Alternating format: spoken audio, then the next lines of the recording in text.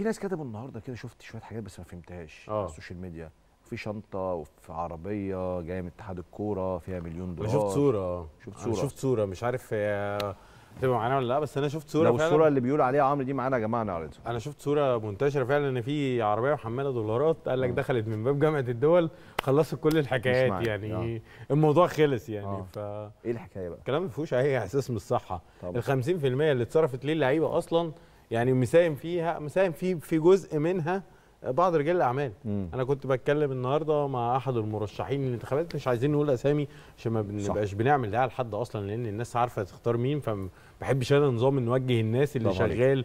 فكل واحد حر في اختياره اعرض البرامج بتاعتك في الوقت القانوني بشكل لائحي بشكل حلو. محترم كنت بتتكلم بقى انت و- واحد قال لك منهم إيه بقى فقال لي إحنا مساهمين في ال 50% اللي من مستحقات اللعيبة اللي اتصرفت أصلا مم. وكمان ما كان في رجل أعمال هو اللي دفع مستحقات اسوريو مم. ورجل أعمال هو اللي دفع لاتحاد اليد مم. فالزمالك دخل له عربية فيها أكتر من مليون دولار وسيف الجزيري قالوا له استنى بس هنظبط موضوع مستحقاتك اللي بالدولار طيب. شوية وزيزو خد شوية هنا خمسة ونص ويبقى لك خمسة أو خد خمسة ويبقى ممكن أسألك سؤال عام شوية؟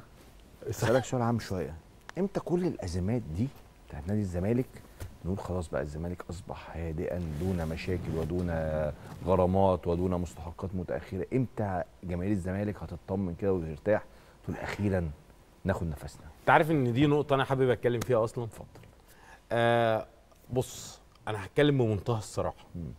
آه نادي الزمالك لازم يتحول لمؤسسة مم. لشركة مم. عنده إدارات بشكل محترم المجلس الماضي هو آه في الأول وفي الآخر ما كانش فيه الإدارات الكافية أو النظام الكافي اللي يخلي النادي آه منتعش لسنوات أو عنده طول الوقت استقرار مادي وإداري فكان عنده أخطاء كبيرة المجلس اللي قبله بتاع الدكتور آه، كان يعني مع- بدون ذكر عشان كل الناس اللي اشتغلوا في نادي الزمالك. أذكر اسم معين. أو. سين أو صاد يعني مم. كان برضو عنده مشاكل إن كل عضو موجود فيه آه، كان بيتحكم في في إدارة معينة بشكل معين فهو اللي اللي مسيطر عليها فبالتالي النادي كان فيه فرق شوية أو أحزاب شوية. تمام.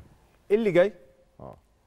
أنا أتمنى آه أشوف عشان نادي الزمالك مهم لكرة القدم المصرية مم. فبالتالي من الرياضه المصرية بشكل عام مش كرة القدم المصرية بس. الرياضه المصرية فعلا عندك كرة اليد. هي المصدر الأول للاعبين ومختلف الألعاب يعني. طبعا. آه، فالمهم إن النادي يتحول لشركة ومؤسسة. مم. يعني مثلا جه مجلس في آه، مشرف على النظام المالي. في مشرف على القطاع الإداري. في مشرف على القطاع الرياضي. كل واحد ياخد صلاحياته الكاملة يا كريم وينبثق من اللجان اللي هتتعمل دي لجان أخرى بتقوم بالدور التنفيذي والإشرافي والمتابعة تمام. وفي النهاية كل ده بيعرض على ترابيزة مجلس الإدارة وهو اللي يقرر صحيح لكن فكرة إن في كل مرة يجي مجلس العمل فيه ما بيتمش لصالح اللي بعده يعني اللي جاي هيشتكي من اللي قبله واللي صح. قبله هيشتكي من اللي قبله واللي قبله يعني الدوامة اللي حاصلة دي بتتسبب في النهاية إن جمهور النادي اللي بتتظلم وفرق النادي اللي بتتظلم ولاعيبة النادي اللي بتتظلم فبالتالي عشان المشاكل دي تتحل لازم المجلس الجديد داخل وهو عارف يوفر مليار جنيه منين مم. يعني وأنا داخل كده صباح الخير 20 أكتوبر الانتخابات حصلت جيت تسليم عايز وتسلم مليار جنيه عشان تحل مشاكل الزمالك هات مليار جنيه آه وتعالى اقعد وخطط وفكر وشوف انت هتعمل إيه بالمناسبه أزمة القيد هتحل قبل يناير ولا هتفضل مكملة الموسم يناير. كله؟ يناير أكيد. يناير. آه أنا أعتقد يعني كل المرشحين تقريبا الموجودين أو اللي لهم حظوظ كبيرة الشغل الشاغل بالنسبة لهم هو إزاي تتحل آه مشكلة سبورتنج لشبونة.